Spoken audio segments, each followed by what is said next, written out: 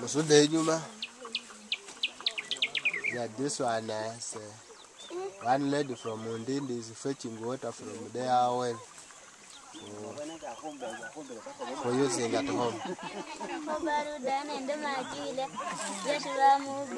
And as you see, it, it is now the, it's very clean than the other one. Than the other one. Yeah, now here they can fetch water for drinking. drinking There they fetch water for water just for just doing what? Just washing, washing plates, other things like that.